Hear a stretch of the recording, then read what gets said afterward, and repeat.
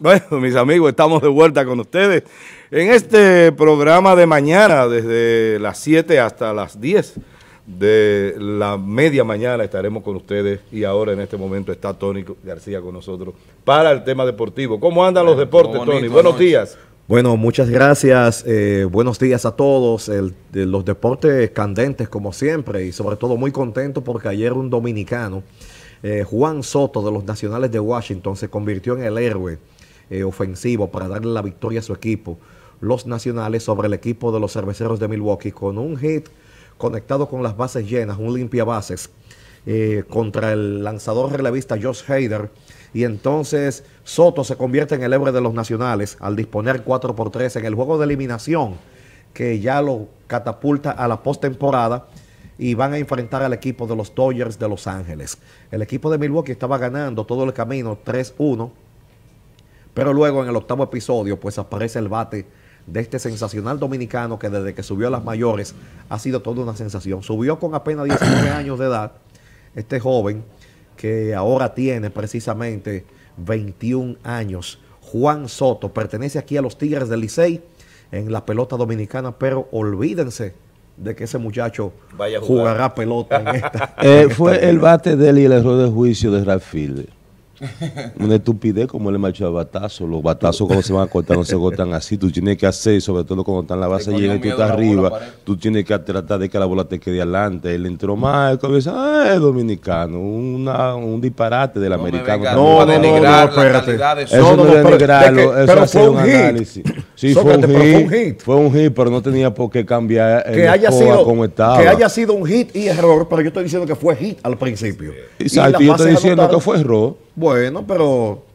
Y que el eh, error fue lo que permitió. Exacto, hay que no me diga una sola cosa, que no me venga con esa bulla. hay que darle el mérito al dominicano. desempeño y suerte. A Juan Soto.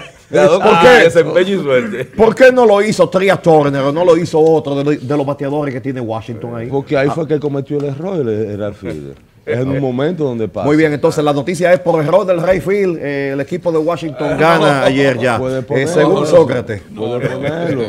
Cambié el titular. No. Eh, señores, Dallas Keuchel, el zurdo de los Bravos de Atlanta, ese va a ser el abridor del primer día para el partido donde los Bravos van a enfrentar al conjunto de los Cardenales de San Luis. Este serpentinero zurdo tiene récord de cuatro victorias, dos derrotas con 3.31 de efectividad en postemporada en 10 partidos, de los cuales 9 de ellos han salido como abridor.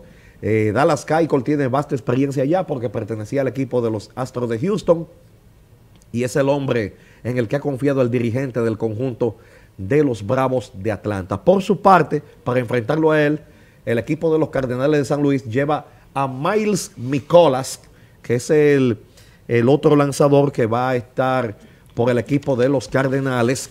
Este, en cambio, pues tiene una marca negativa de 9 y 14 en la temporada regular, donde va a realizar su primera salida en postemporada. Obviamente, en ese primer juego nos quedamos, nos, nos quedamos con Atlanta en esa línea porque la experiencia de Dallas Keuchel sobre el otro es superior. Ahí está precisamente Miles Nicolas, quien será el lanzador del equipo de los Cardenales de San Luis. Ayer inició la convivencia deportiva curricular donde eh, cientos de niños se dieron cita en el Polideportivo San Martín en tres modalidades para el día de ayer que fueron atletismo, gimnasia rítmica y baloncesto también en la modalidad 3x3.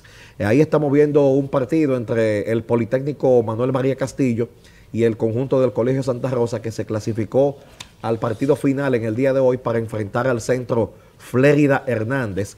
Ese partido va a ser celebrado a las 9 de la mañana en el Colegio Santa Rosa de Lima en el día de hoy, el partido final.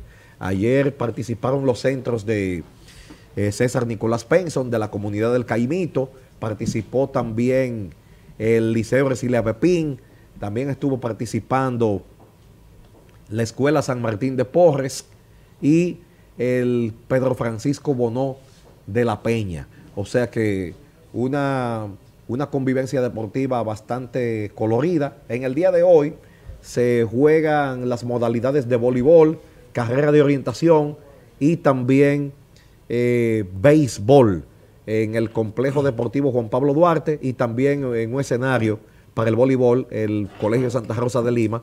La dirección técnica de voleibol está a cargo del profesor experimentado José Augusto Morel, quien es el director técnico de esa disciplina. Y ya por último, eh, hoy inician los playoffs de la Liga Nacional de Baloncesto. Ahí tenemos el calendario. Eh, el equipo de los indios en el partido número uno, enfrentando aquí al conjunto de los soles del Este en el Mario Ortega. Y entonces, posteriormente, el viernes, eh, el juego será en el Polideportivo de Invivienda. Ya para el, el domingo, el partido será a las 4 de la tarde en el Mario Ortega, otra vez. Y entonces, si es necesario, se jugarían los otros dos partidos. Vamos a darle buenas vibras para que nuestro equipo de indios de San Francisco pueda eh, continuar ganando ahora en esta etapa de los playoffs, de estas eliminatorias, y podamos ir a la final y levantar el cetro de campeón. Eh, por el momento es todo lo que tenemos en deporte. Gracias a nuestro querido amigo y compañero mañanero, a don Tony. Gracias, Tony.